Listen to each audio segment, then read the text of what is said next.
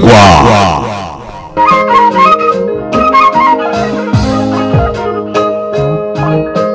ደራሲ አለማየሁ ዋሴ እሸቴ።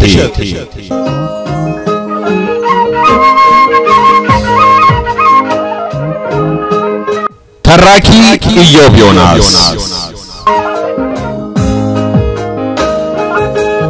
ለሲሳይና ለሙኒት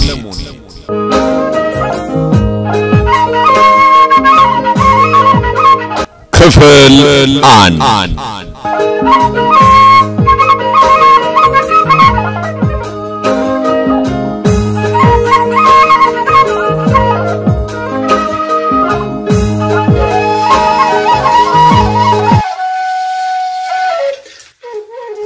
ቦሌ ዓለም አቀፍ አውሮፕላን ማረፊያ ስደርስ ከምሽቱ አንድ ሰዓት ተኩል ሆኖ ነበር።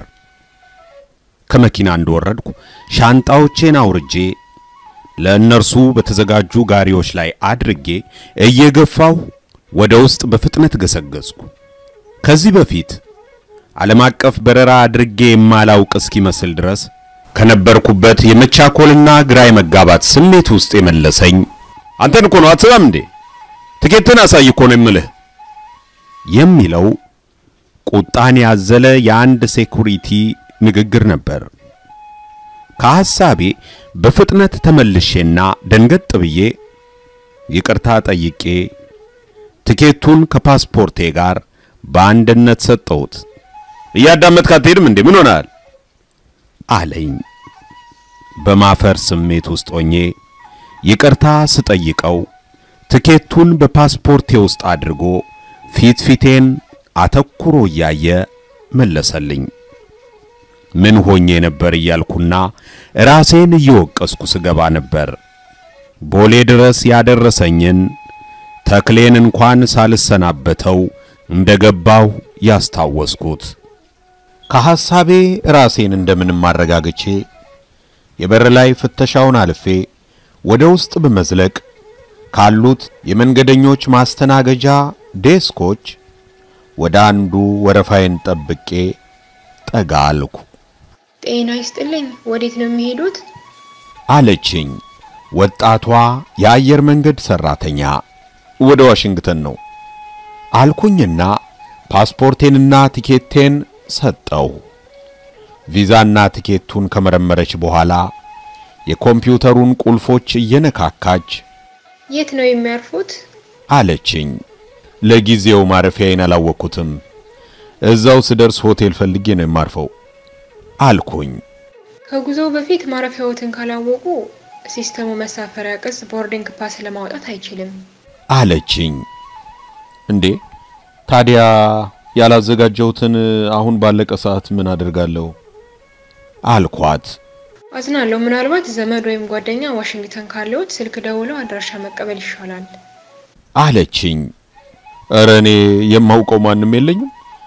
ስም ባስታውስም ስልክ የለኝም። ባውቅስ ድንገት ደውዬ ልመጣ ነው የቤትህን አድራሻ ስጠኝ ብል ምን ይባላል? አልኩኝ በሐሳቤ። እዛው እንደቆምኩ በሐሳብ መንጎዴን አይታ ይቅርታ፣ ሌላ መንገደኛ ማስተናገድ ስላለብኝ ቦታውን ቢለቁልኝ አለችኝ በታላቅ ትህትና። እሺ አልኩና ቀልጠፍ ብዬ ወደ ኋላ ፈገፈግኩ። ወዲያው አንድ ዘዴ መጣልኝ። በእጄ ያለው ሞባይል ሽቦ አልባ ወይም መደበኛ ስልክ ባለበት አካባቢ ኢንተርኔት ማየት ያስችላል። ወዲያው ዋሽንግተን ሆቴል የሚል ጻፍኩና ጎግልን እንዲፈልግ ገፋሁት። ወዲያው በርካታ ሆቴል እስከ አድራሻው ይዞ ብቅ አለ። አንዱን መረጥኩና ወደ counter ኡ ጠጋ ብዬ አንዱን አድራሻ ነገርኩ። የኮምፒውተሩን ቁልፍ ስታንቋቋ ቆየችና ሻንጣዎትን እዛ ጋር ያድርጉት አለችኝ። እኔም እንደ ዘንዶ እየተሳበ ከሚሄደው ሸራ መሰል ንጣፍ ላይ አስቀመጥኩት መልካም በረራ ብላ የመሳፈሪያውን ቅጽ ከጉዞ ሰነዶቼ ጋር መለሰችልኝ።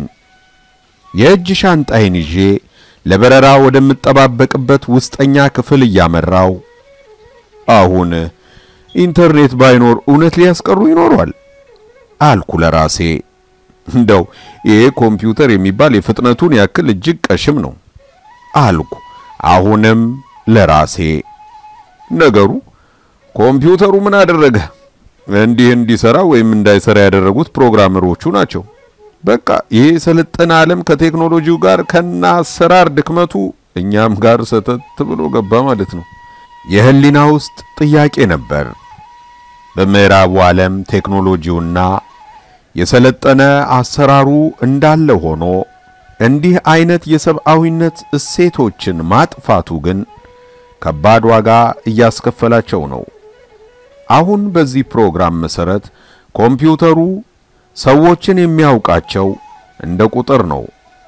የሚጠይቀውን ስሰጠው ይፈቅድልኛል፣ ካጣም ይከለክለኛል። አለቀ በቃ። ሰው ቢሆን ወይም ሰብአዊ እሴቶችን ባያጠፉ ኖሮ ግን ሆቴል ቀድሜ አለመያዜ ብቻ መንገዴን ሊከለክለኝ አይችልም ነበር። እርሷስ እንዴት ደውለህ ጠይቅ ትለኛለች። የእጅ ሻንጣዬን እየጎተትኩ አመስግና ከሸኘችኝ አስተናጋጅ ጋር በሐሳቤ ሙግት ገጠምኩ። ለምን በሌላ መንገድ አድራሻውን ለመሙላትና ለመርዳት አላሰበችም? በቃ ሰውም እንደ ኮምፒውተር ሰብአዊነቱን ሊተው ነው ማለት ነው። ምዕራቡ ዓለም የተጎዳው አንዱ በዚህ ነው። አሸባሪዎች ሳይቀር የኮምፒውተር ፕሮግራሞቻቸውን ውሱንነት ስለሚያውቁ ልክ እንደኔ እንዳደረግኩት ከበየነ መረብ አስሰውና ኮምፒውተሩ የሚጠይቃቸውን ሰጥተው አልፈው የሚፈልጉትን አደጋ ለማድረስ የሚችሉት የዘመናዊና ቴክኖሎጂ አገዝ ስራዎች ሰብአዊ እሴት ማጥፋታቸውን እንደ በጎ አጋጣሚ በመጠቀማቸው ነው። ታዲያ ይሄ አሰራር እንዳለ እኛ ጋር እየተገለበጠ መምጣቱ ምን አደጋ ይኖረው ይሆን? ከቀጥታ አደጋቸው ደግሞ ሰውን ራሱ ሰብአዊ እሴቱን እያጠፉ መሄዳቸው የበለጠ እያሳሰበኝ ቀሽምነቱንም ከኮምፒውተሩ ወደ ሰዎች አስተላልፌ ወደ ውስጥ ገባው። የውስጠኛውን ፍተሻ አልፌ ወደ መቆያ ኮሪደሩ እንደደረስኩ የመሳፈሪያ ጊዜያችን ደርሶ ስለነበር ግቡ ተባልን። ጉዞው የተጀመረው በሰዓቱ ነበር።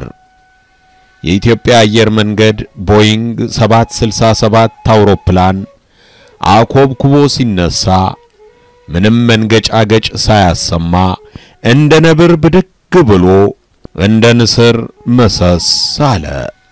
ከዚያም ከፍታውን በፍጥነት እየጨመረ የግራ ክንፉን ወደ ታች የቀኝ ክንፉን ወደ ላይ አሰይፎ ተንደርድሮ ከተነሳበት ሰሜን ምስራቅ አቅጣጫ ቀስ በቀስ ወደ ግራ ዞር በማለት አንዳች የደስደስ ስሜት እየለገሰን ደመናውን እየሰነጠቀ የሰሜን አቅጣጫን ይዞ ወደ ባህር ዳር ከዚያም በካርቱም አድርጎ ወደ ሮም ይከንፍ ጀመር። ወደ ተለያዩ ሀገሮች በብዙ አየር መንገዶች ተጉዣለሁ። በኢትዮጵያ አየር መንገድ ስጓዝ ግን የሆነ ደስታና ክብር ይሰማኛል። በተለይም የአብራሪዎቹ ብቃት ምንም እንኳን እንደኔ ያለ ለአውሮፕላን በረራ ግምገማ ማይም የሆነ ሰው አስተያየት ሊሰጥ የሚችለው ሲያርፍና ሲነሳ ለተሳፋሪዎች ከሚሰጠው ምቾትና ድምፅ ያላለፈ ቢሆንም እርሱ ራሱ በአብራሪዎቹ ብቃት ላይ ከፍተኛ መተማመንን ስለሚፈጥርብኝ ሁልጊዜም ደስታና ክብር ይሰማኛል። አንዳንዱ እኮ ሲያስነሳ መንጭቆና አፍ ገምግሞ ስለሆነ ከተነሳም በኋላ ተጋጭቶና ነጥሮ እንደሚመለስ ኳስ ከፍ ዝቅ ሲያደርገው በአየር ላይ ሳይሆን በኮረኮንች መንገድ ላይ የሚነዳ አሮጌ መኪና ያስመስለዋል። ሲያሳርፈው ደግሞ የጣለው ሁሉ ይመስላል። በኢትዮጵያ አየር መንገድ አብራሪዎች ግን እንዲህ ያለ ነገር አጋጥሞኝ ስለማያውቅ ሁሌም ደስታ ይሰማኛል። አንዳንድ ጊዜማ በሌላ ሙያና ሥራ ያጣነውን ሙያን በብቃት መፈጸም እነርሱ ያካካሱልኝ ሁሉ ይመስለኛል። በተለይ ከሰለጠነው ዓለም ጋር ተናበውና በዚያው መጠን የሚያስቡና የሚሰሩ የተለያዩ ባለሙያዎች በግለሰብ ደረጃ ቢኖሩም በተቋም ደረጃ ሰራተኛውን ሁሉ በዚህ አግባብ የሚቀርጽና አገራዊ መልክ ያለው ሊታይና አርአያ ሊሆን የሚችል ተቋም የሌለንና የኛ አገር አሰራር ሊሻሻል እንደማይችል ለሚከራከሩኝ አንዳንድ ምዕራባውያን ጓደኞቼ ሁልጊዜም ማሳያዬ ይኸው አንድ ለናቱ የኢትዮጵያ አየር መንገድ ነው።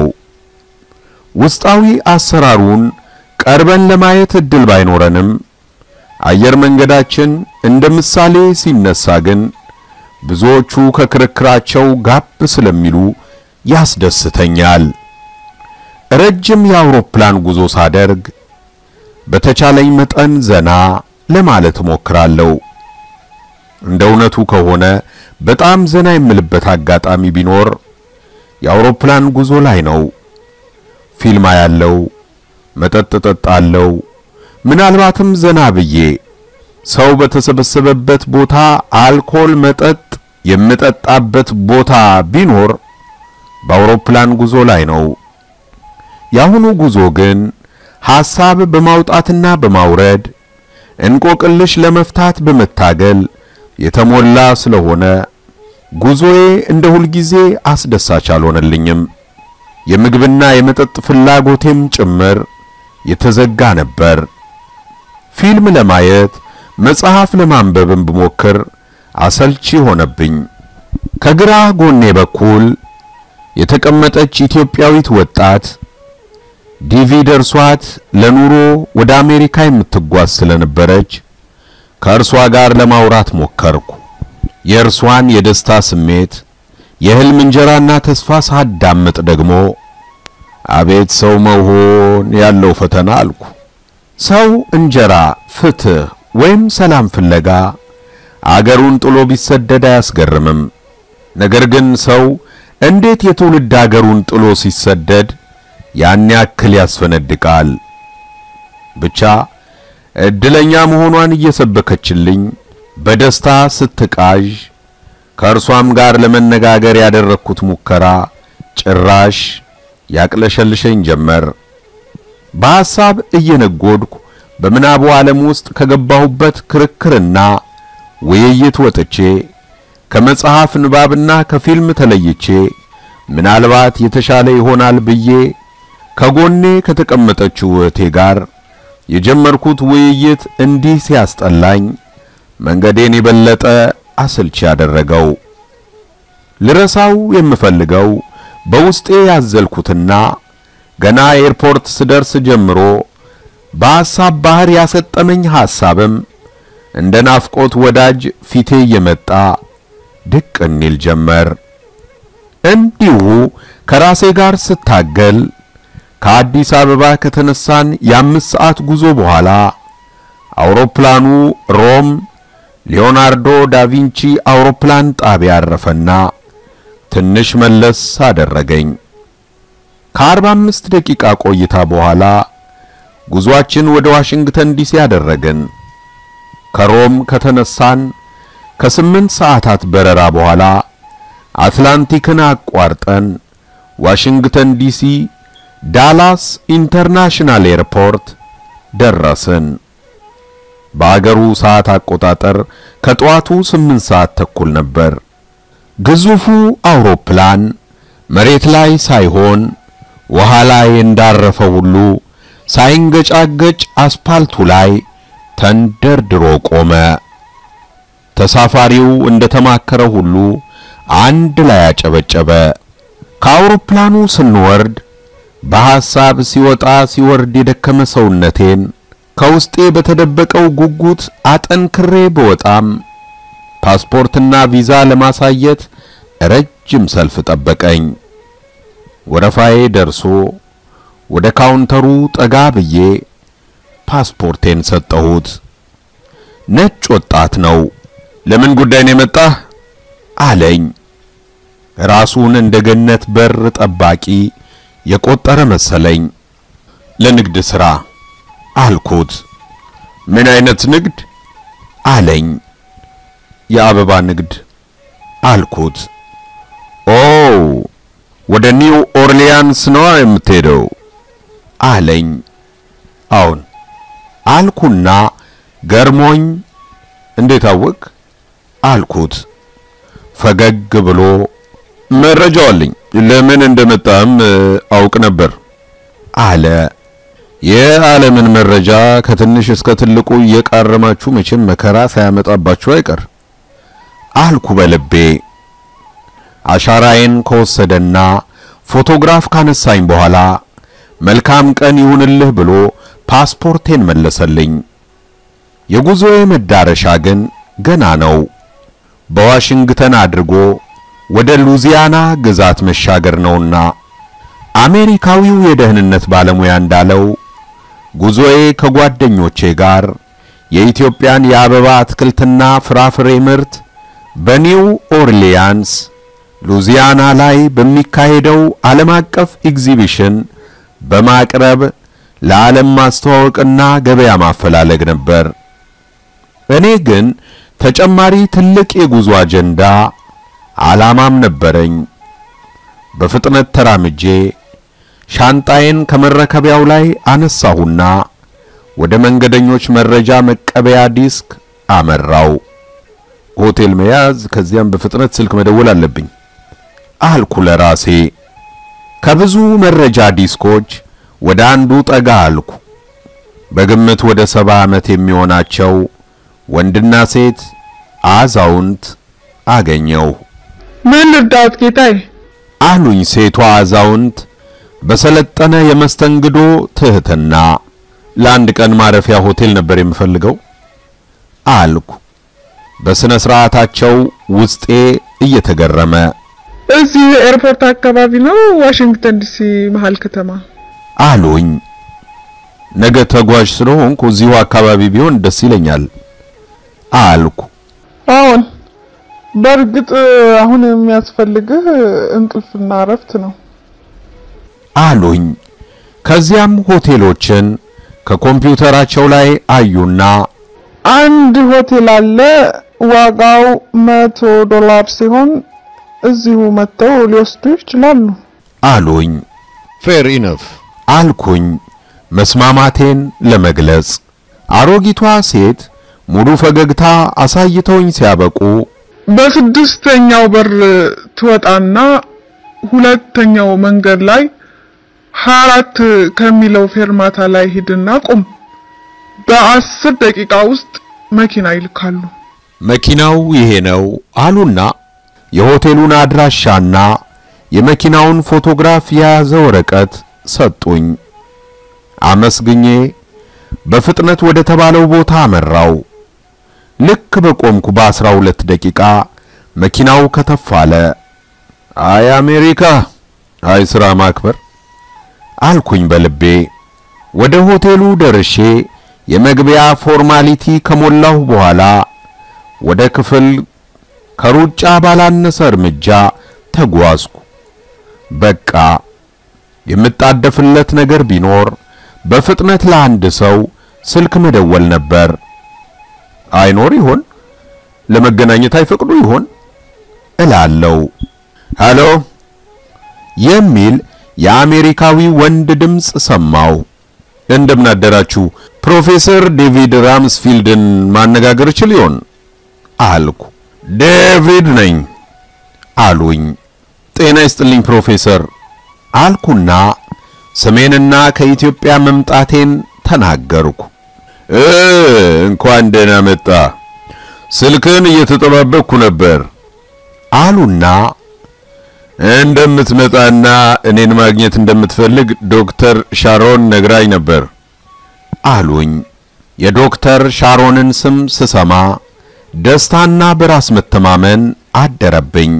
ዶክተር ሻሮን ሎማን የ58 ዓመት አሜሪካዊ ሳይንቲስት ስትሆን እጅግ ብዙ የምርምር ሥራ የሰራች ታዋቂ የብዙሃ ሕይወት ባለሙያ ናት። በወቅቱ የካሊፎርኒያ የሳይንስ አካዳሚ ዋና ዳይሬክተር ሆና ትሰራ ነበር። እኔ ጋር ከተዋወቅን ከሰባት ዓመት በላይ ሲሆነን ሰፊ የምርምር ሥራዎችን በጋራ እንሰራለን። በምዕራቡ ዓለም የምፈልገው ጉዳይ ካለኝ ዶክተር ሻሮን ለእኔ የበሩ መክፈቻ ቁልፍ ናት። ቀደም ብዬ ማወቅ የምፈልገው ጥብቅ ጉዳይ እንዳለኝና አሜሪካ ውስጥ ሊረዳኝ የሚችል ሰው እንዳለ ሳማክራት በተለመደው አነጋገሯ ማግኘት የምችል ከሆነ እስኪ ልሞክር ብላኝ ነበር። በዚህ መሰረት ነው የፕሮፌሰር ዴቪድ ራምስፊልድን የስልክ አድራሻ ያገኘሁት። ፕሮፌሰሩ ስለ ጉዞዬ ከጠየቁኝ በኋላ ታዲያ ምን ልርዳህ አሉኝ። በደፈናው አንድ የምርምር ሥራ እየሰራሁ እንደሆነና የእርሳቸውን ድጋፍ የሚጠይቅ ጉዳይ ስላጋጠመኝ በአካል ላገኛቸውና ላወያያቸው እንደምፈልግ ነገርኳቸው። ትችላለህ አሉኝና የት ነው ያረፍከው? ምን ያክል ቀንስ ትቆያለህ? አሉኝ። በበነጋው ወደ ሉዚያና እንደምሄድ ከዛም ስድስት ቀን እንደምቆይና እሁድ እንደምመለስ እርሳቸውን ግን ሰኞ ማግኘት እንደምፈልግ ነገርኳቸው። ጥሩ ነው። እሁድ እንደገባ ያረፍክበትን ሆቴል ትነግረኝና ሰኞ ጠዋት መጥቼ ወደ ቤቴ ወስዳለሁ አሉኝ።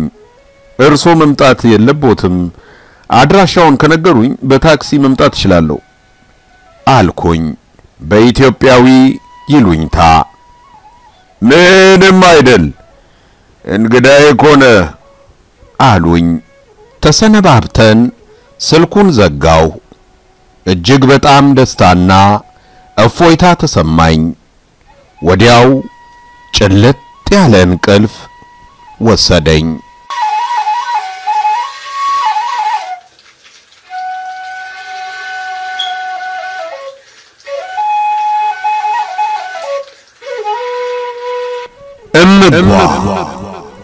የክፍል አንድ ቆይታችን ይህን ይመስል ነበር። በክፍል ሁለት እስክንገናኝ ቸር ይግጠመን።